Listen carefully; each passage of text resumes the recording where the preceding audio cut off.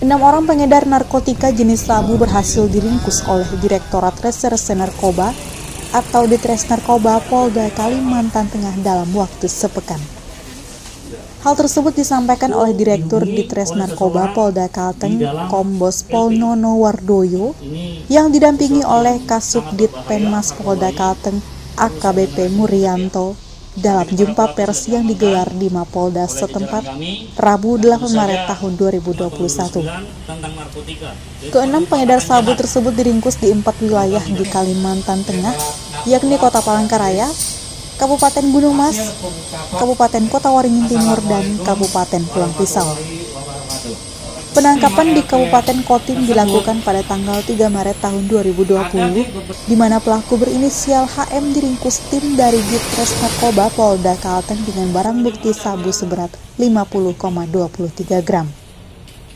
Sementara itu untuk wilayah Kabupaten Gunung Mas, penangkapan dilakukan terhadap dua orang pelaku berinisial SP dan NW pada tanggal 4 Maret tahun 2021, serta diamankan barang bukti berupa sabu seberat 10 gram.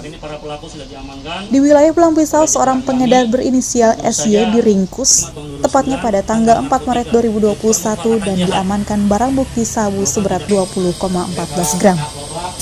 Untuk wilayah Palangkaraya, pada tanggal 6 Maret 2021, tim berhasil meringkus pengedar sabu berinisial IW dan diamankan barang bukti berupa narkotika jenis sabu seberat 252,65 gram. Serta pada tanggal 8 Maret 2021, seorang pengedar berinisial EF berhasil diringkus di Kabupaten Pulang Pisau dan diamankan barang bukti berupa sabu seberat 2,35 gram. Sehingga barang bukti yang berhasil diamankan dari keenam pelaku berjumlah 335,37 gram kami jajaran di Narkoba Polda Kalimantan Tengah eh, merilis hasil pengungkapan tindak pidana narkoba yang berhasil dilakukan oleh jajaran kami selama satu minggu terakhir.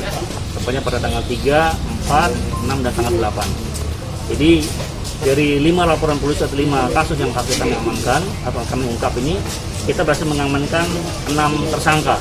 Terdiri dari lima laki-laki dan satu perempuan.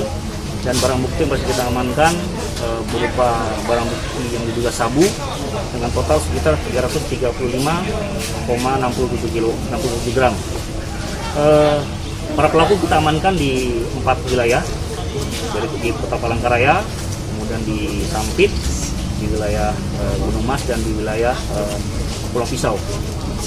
Para pelaku akan dikenakan dengan pasal 114 ayat 2 Junto pasal 112 ayat 2 Undang-Undang Republik Indonesia nomor 35 tahun 2009 tentang narkotika dengan ancaman hukuman minimal 6 tahun penjara dan paling lama 20 tahun penjara atau hukuman seumur hidup atau hukuman mati serta denda paling sedikit 1 miliar rupiah dan denda paling banyak sebanyak 10 miliar rupiah.